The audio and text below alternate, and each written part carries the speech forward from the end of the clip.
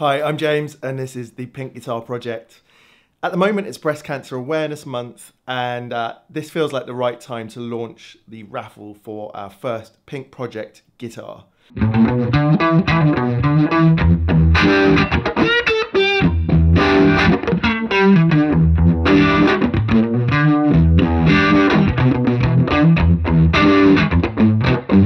going to launch the raffle next week.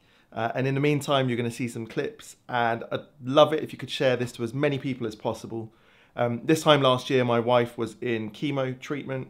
She still had surgery and radiation, and still eight or nine months after that's all finished, she's uh, healing.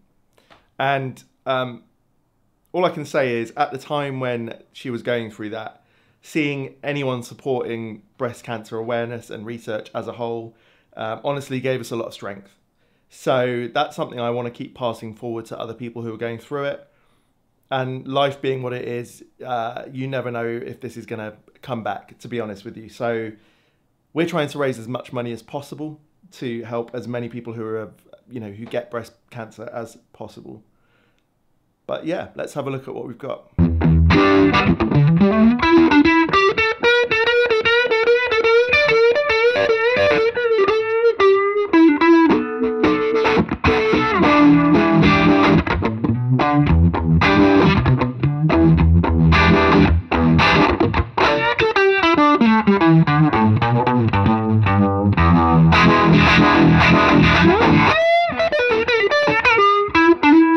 So for our first guitar, we decided to make a Stratocaster. Um, I'm really proud of this thing, mainly because it was the first big thing we did as, you know, for the project. And uh, I actually hand made this body. Uh, took me hours of sanding and carving and all sorts.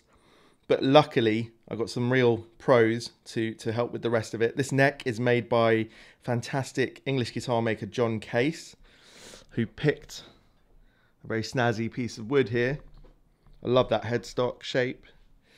The pick guard and the pickups all wired, made and wired together by Sunbear Pickups, great friend of mine. These are some of his most popular pickups and they sound fantastic, really clear, full of life. And the paint job and relicking was done by Ashley from Time Traveller Guitars and he's really passionate about making these relics look as realistic as possible. In fact, he spoke to some people who have some original uh, guitars from the early 60s and took some pictures and actually made it look absolutely amazing.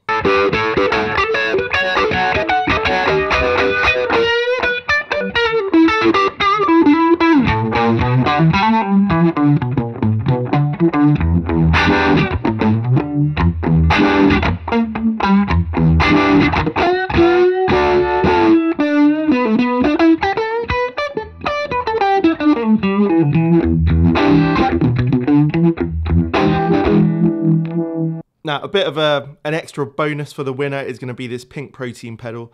This was actually part of a raffle earlier in the year when we gave away a Fender guitar, but the person who won that raffle doesn't use pedals and said that they'd love to pay it forward, so this is going to come together with the Pink Project guitar. Um, I use a protein personally. I specifically really love the blue side, which is like a blues breaker. And then when you want that extra grunt and grit, you've got this sort of Nobels uh, ODR1 style pedal on the right. Together they work amazingly and they work great with fuzz, they work great with other effects.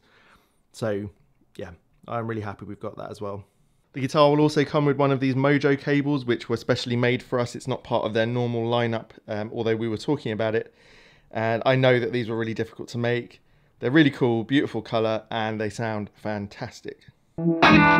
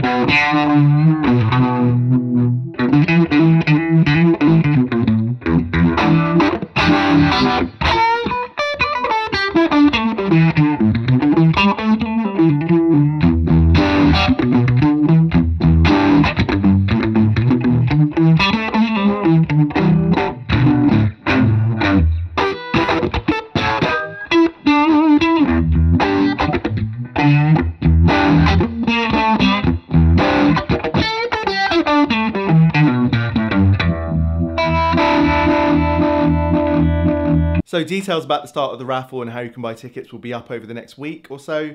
And the winner is going to win that pink project guitar handmade, uh, hand wired pickups, everything, you know, like a real boutique guitar. And uh, that pink protein pedal and the pink cable as well. Um, it also comes with, we're really lucky that it comes with a hard case, which was donated to us by Hiscox Cases. Uh, really thankful to them for doing that. So that means it's coming with an amazing hard case that's flight ready or whatever you need it for. So yeah, keep an eye out here. Please share this as much as possible. I would love to raise three or four grand. Our last raffle with Danish Pete raised two grand. The one before that with the Dominion Fuzz raised three grand. I'd love to be able to hit that sort of number again. Thanks for watching.